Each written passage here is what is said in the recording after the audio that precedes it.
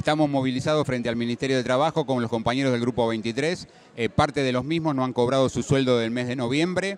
Eh, no han cobrado ninguno del Grupo 23 el aguinaldo, que tenían que haberlo eh, cobrado el 18.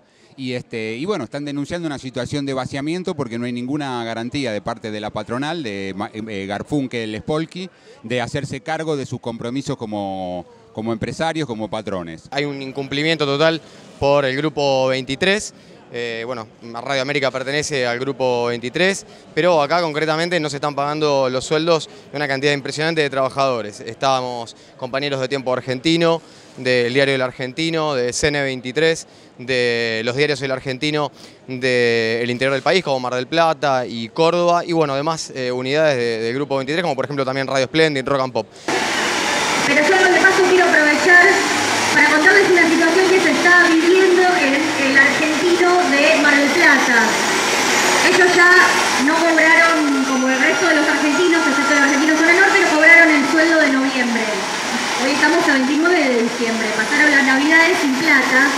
Pudieron venir la semana pasada, se costearon un pasaje que después se lo repuso el sindicato, nuestro sindicato, el CIPREVA, para participar de la asamblea del grupo 23 y juntarse con los compañeros, vernos las caras, porque ya ni siquiera les estaban atendiendo el teléfono, de hecho no les atienden el teléfono. No hay nadie que les diga, hola, sí, del otro lado, acá hay gente, como están en Mar del Plata, o sea, como están en otra ciudad, les cuesta mucho coordinar, dar a conocer su situación y se sienten muy aislados, Así que este, yo les quiero pedir si podemos un aplauso, un abrazo desde acá para los compañeros del Argentino para el para que no se sientan solos.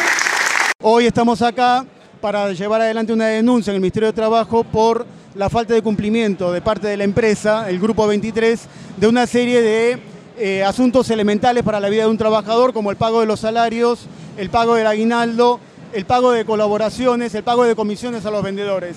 Todo esto son problemas que se vienen arrastrando desde hace bastante, pero en este momento estamos llegando a un nivel de exceso en los tiempos, en los plazos que se está demorando la empresa, razón por la cual nos hemos convocado acá, el CIPREVA, el sindicato nos está acompañando, lo mismo que una cantidad de compañeros de otras empresas, de otros medios de prensa de la ciudad, como Clarín, La Nación, etc.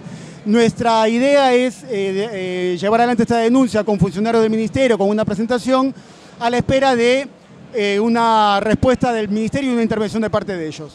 Bueno, imagino nosotros en particular, los argentinos no se están imprimiendo, de modo que algunos compañeros han tomado eh, la idea de hacer un paro que se torna en, en alguna medida insustancioso por la cuestión de que no hay impresión del diario. Eso también hace, por supuesto, peligrar la fuente laboral. Y a nosotros puntualmente en Radio América lo que nos están pagando es el aguinaldo, no hay una fecha eh, concreta. Lo que estamos denunciando también es una suerte de vaciamiento del Grupo 23, lo que estamos viendo es que no hay una certeza de qué es lo que va a pasar con este nuevo gobierno. También le hacemos un llamado al nuevo gobierno de Mauricio Macri de que acá los trabajadores nada tenemos que ver con las líneas editoriales de los empresarios. Si Sergio Spolky y el Grupo 23 tenían una línea editorial con el eh, otro gobierno, con el gobierno que se fue, no es problema nuestro porque nosotros no participamos de la línea editorial de las empresas. Eso es un problema de los empresarios. Nosotros lo que queremos es cobrar los sueldos y los aguinaldos en tiempo y forma y que se mantengan los puestos eh, de trabajo. Eh, compañeras, recién charlábamos entre nosotros varios de los delegados acá del Grupo 23, queríamos hacer una propuesta a todos los trabajadores del Grupo 23 y es que hoy hagamos asambleas en todos los lugares de trabajo, votemos resoluciones y mañana a las 3 de la tarde nos convocamos todos los trabajadores del Grupo 23 para una asamblea general del grupo en la Puerta de Tiempo Argentino y Radio América, de forma tal de resolver de conjunto cómo seguimos esta pelea los salarios de noviembre, las soluciones, las colaboraciones, el aguinaldo, todo sigue pendiente a este momento.